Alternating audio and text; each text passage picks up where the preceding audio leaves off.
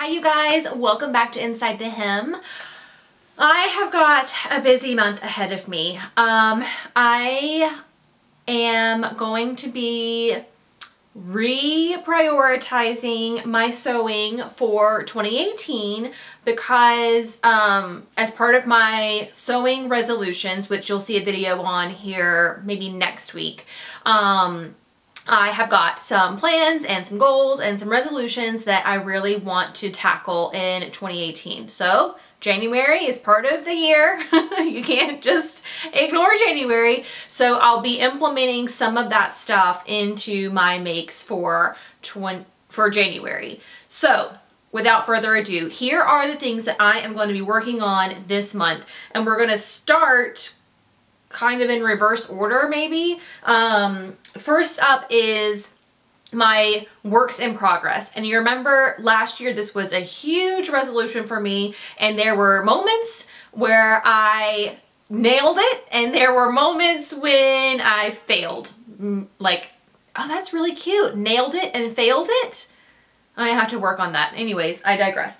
Um, so the first two that I'm going to work on in January are really simple because I want to start off with a bang and I want to feel really, really confident going into the start of the year. So they're just two mending projects. One of them is on the dress form behind me. All I need to do is shorten the shoulders of it. It's just they're way, way, way too long and I didn't make a muslin. So I didn't know that and I was wearing it and it just starts to hang really low. So I just need to take up the shoulders. I've already unpicked them. Literally all I have to do is zip them through my serger but for whatever reason, that's taken me months and months and months at this point. So I'm not going to act like that's some sort of like gift that it's so simple to do and it's a no-brainer because I haven't done it yet. So there are plenty of excuses as to why I haven't gotten to it thus far.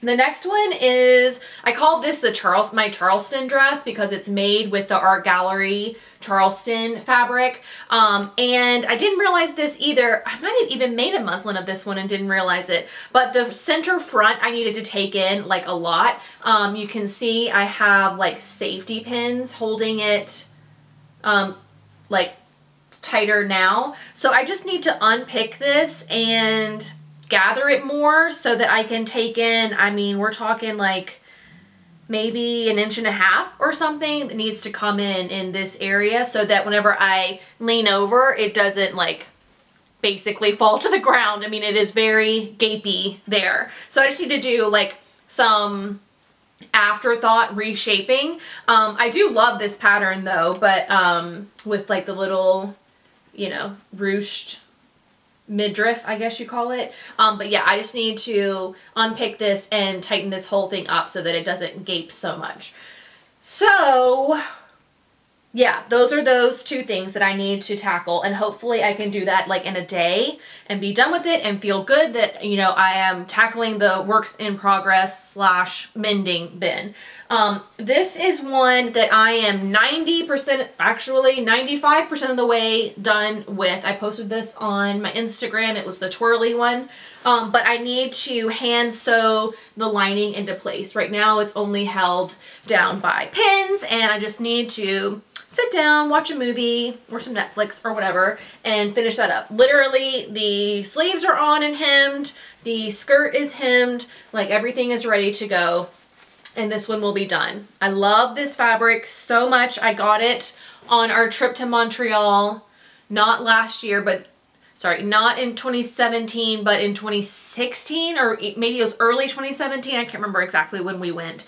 Um, and it is a, I think it's a cotton and silk blend twill. Um, and it's just, it was a dream to work with. It's a dream to wear.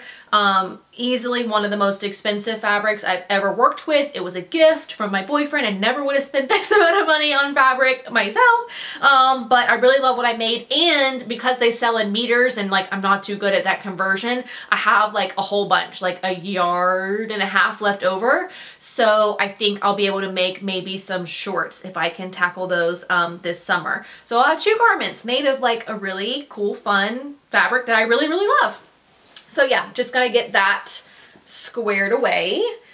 Um, now we move on to, okay, so I talked to you guys about this a little bit in my favorites, my 2017 favorites video about how I've been really getting into like the home decor thing a little bit um, because of my Cricut Maker. So in the in 2018, I want to kind of try and add that into my sewing plans more often. Little, little projects that take a couple of hours at most.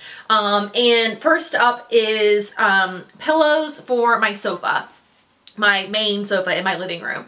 So I got this, um, I think that it's some kind of linen. I got it from Jo-Ann. It's navy. I have kind of like a navy as an accent color kind of all throughout the apartment. Not so much in here, but in the living room, in the bedroom, um, definitely got a navy accent thing going on. So I just want to make some throw pillows. My sectional is brand new. I got it when I moved here because my itty bitty sofa that was in the itty bitty apartment before this one is now in the sewing room and I needed like a much bigger sofa to fill the space um, in the living room because it's like the living room is as big as almost my entire whole apartment. Um, and it came with pillows, but they suck. They're like the same fabric as the sofa itself and just factory and they're lame. So um, I made some pillows for Thanksgiving and Christmas and now I just want to make some that would be there like year round um, that I use all the time when there's not like a special occasion holiday type thing going on. So I've got this navy and then I've got this really pretty metallic iron-on vinyl from Cricut and I want to do something on the pillows but I'm not sure if I want to do like symbols like I don't know arrows or I don't really know. I have kind of like I'm doing the very cliche kind of farmhouse sort of.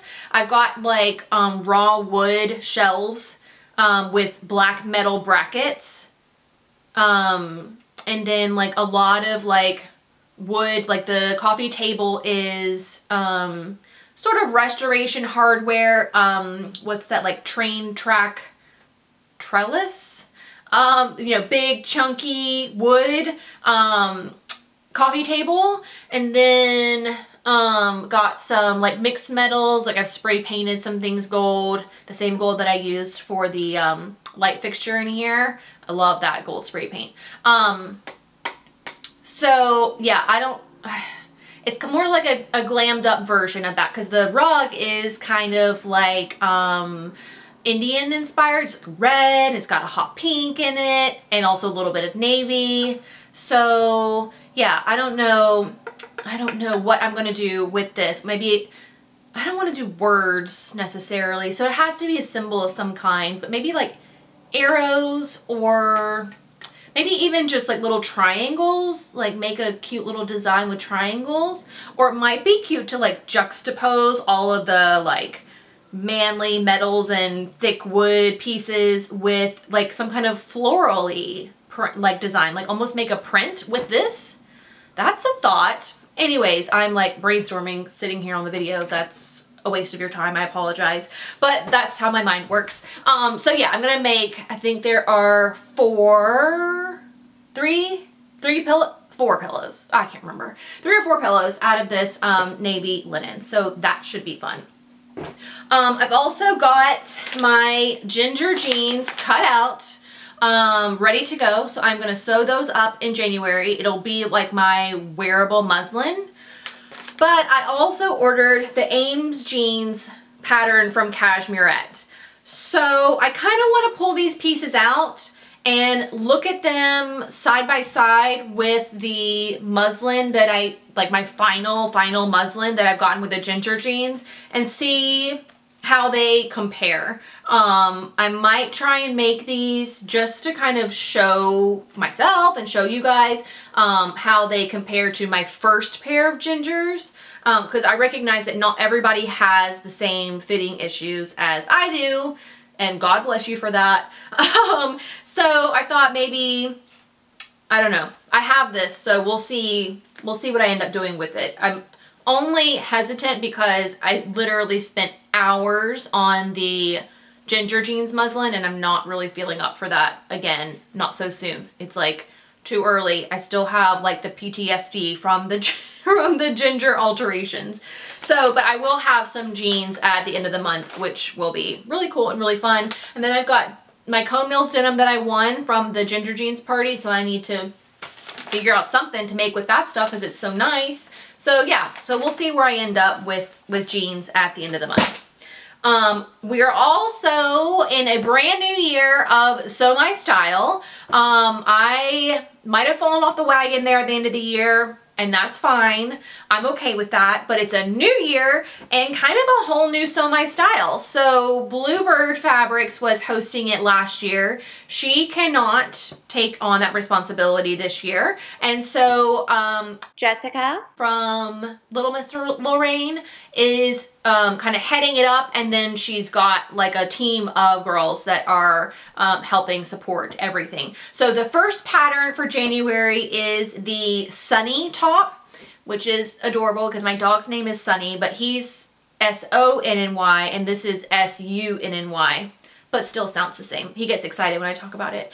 Um, it's a Sunny top by Friday patterns. I'd never heard of them before. She's got some really cute stuff. Um, when I went to get the top, well, it's a top or a dress. Um, but when I went to pick that up, I was looking at her other patterns and she's got some cute stuff. So I want to see how this one works out and how like the instructions are and how piecing everything together is, you know, just get a lay of the land for her patterns and see if I like it. And if I do, I will grab some more. But, um, so it's basically a knit top or dress, um, like a knit a knit t-shirt dress. T-shirt dress, is that what they're called? Yeah. So I can't wear t-shirt dresses because of my lovely lumps and bumps. I just don't feel comfortable wearing such a thin knit over my bottom half. So um, I'm going to be making the t-shirt, the top version. Um, and I've got this gorgeous modal from Style Maker Fabrics. I ordered this maybe, I think it was around the time of her spring collection release. Um, but it's the perfect t-shirt material, perfect t-shirt fabric. So I'm excited. And it's navy and I thought I could wear that with like jeans, like not navy. This is not navy. This is olive. Um, and I thought I could wear it with jeans, like olive, navy. They go really well together. And it would also transition really well into spring. Um, you know, olive is basically a neutral nowadays. So I thought I'd make it out of that for my first go and see what I think. Um, okay, and then lastly, I um, did an Instagram story poll um, a few days ago asking you guys what I should make next, and everyone voted for this Cynthia Rowley um, dress, but I'm going to do the two shoulder version, not the one shoulder version. Um, this pattern is designed for Ponte Knits, which is really cool. So you guys have seen this fabric before and I still have yet to decide what to do with it, but I think this is going to be it. It is the one with the white and gold bows that I got from Fabric Mart. I'm pretty sure it was like a Maggie London print.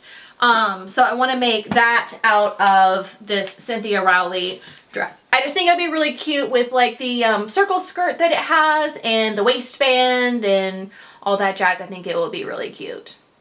So there you have it. Those are all of my plans for January. Um, I've got a lot of things that I'll be making and I'm really excited to make them. I've also got a lot of fun videos for you guys coming up. So I'm just really excited to kick off the new year and I hope you are too. So thank you so much for watching and I will see you all very soon. Bye.